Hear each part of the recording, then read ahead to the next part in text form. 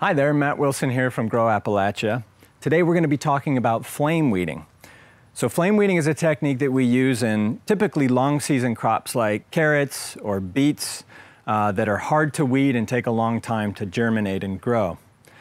Uh, the, where you would use flame weeding is uh, you would prep your bed and uh, wait about a week, then seed your crop. In this case, we've put carrot seeds down. And uh, then wait another depending on the crop, a week to 10 days in the case of carrots this time of year. What you're looking for is for your crop just to be um, just breaking the surface, just underneath the surface when you flame weed it. And that's gonna kill all of the weeds on top of the bed and give your crop the best chance because if you're not stirring up the soil again, the weed seeds don't have a chance to get exposed to light and to germinate. So it's a great way to, to create a nice clean bed uh, for your crops to emerge into. Let's talk about some of the equipment for flame weeding. This here is a single burner unit uh, with a shroud on it. This one is from uh, Neversink Farm. Conor Crickmore and Eliot Coleman uh, had a hand in designing this. It's also available from Johnny's Seeds.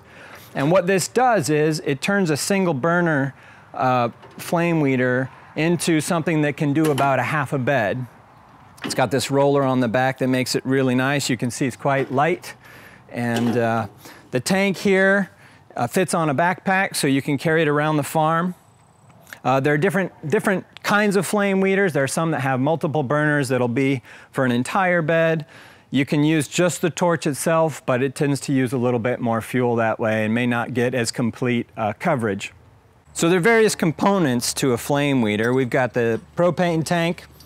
It's got uh, kind of an open and close valve here. And then on the torch itself, there's usually at least one regulator valve that controls the flame when you're not squeezing the handle, kind of the pilot light.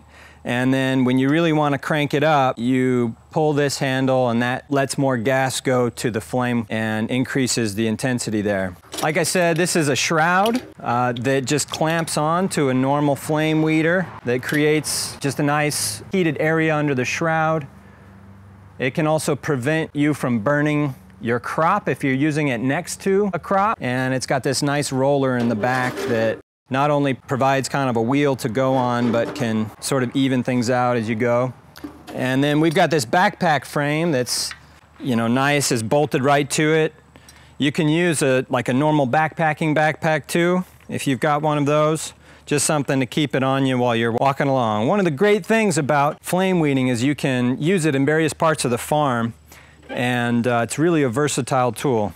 So this is an igniter, uh, similar to what you would use if you were uh, using welding equipment. It's just a safer way to ignite the flame weeders than, uh, than a lighter or something like that.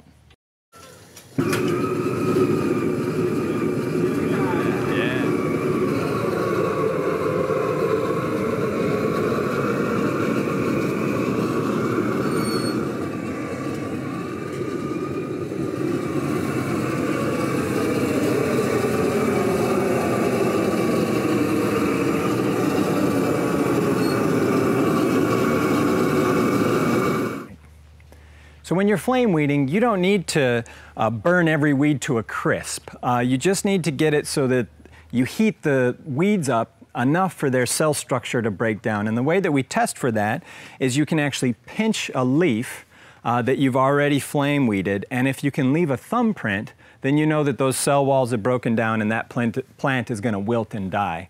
Um, there's no real harm in going overboard a little bit, you're just gonna use a little bit more fuel. So flame weeding is a great technique to use before direct seeding or transplanting. You can even use it to keep your paths clean. Uh, it's just one tool in the toolbox that we use for keeping weeds uh, controlled on our market gardens. Thanks for watching.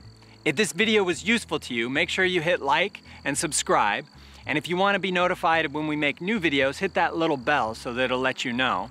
Check out the other videos in this weed control series, especially the intro video called To Weed or Not to Weed. That'll give you the big picture of how this fits into a broader weed control strategy for your farm.